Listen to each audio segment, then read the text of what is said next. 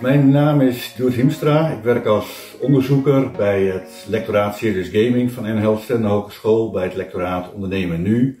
Uh, en daarnaast ben ik docent bij de opleiding Human Resource Management. We hebben meegedaan aan dit project omdat we uh, op zoek waren naar een, ja, een effectieve en een stimulerende manier voor studenten om zich zo goed mogelijk voor te bereiden op hun uh, praktijkprojecten.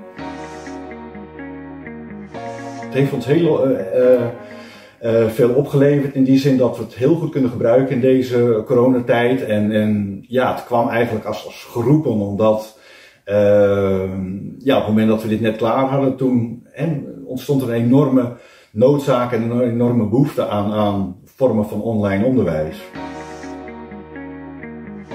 Er zijn verschillende redenen waarom het in het hoger onderwijs interessant is om met peer feedback te werken.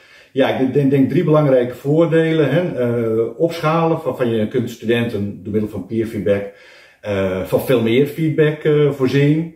Twee is, het is didactisch heel erg interessant, hè, omdat de studenten dwingt om boven de stof te gaan staan en met de blik van een buitenstaander ook naar dat, naar dat werk te kijken. In eerste instantie naar het werk van anderen, maar daardoor hè, leren ze ook met die blik naar hun eigen werk te kijken.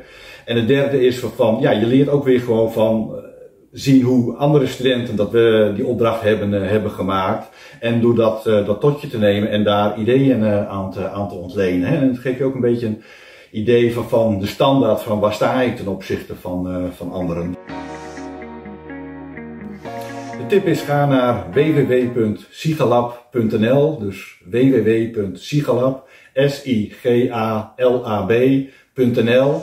Uh, dat is de website van ons uh, Simulation and Game-Based Learning Lab. Uh, daar zie je de game die we hebben ontwikkeld, DBA Peer Feedback Sprint, dus DBA Peer Feedback Sprint. en daar kun je de hele handleiding van die game en ook een, een template van die game kun je, kun je downloaden.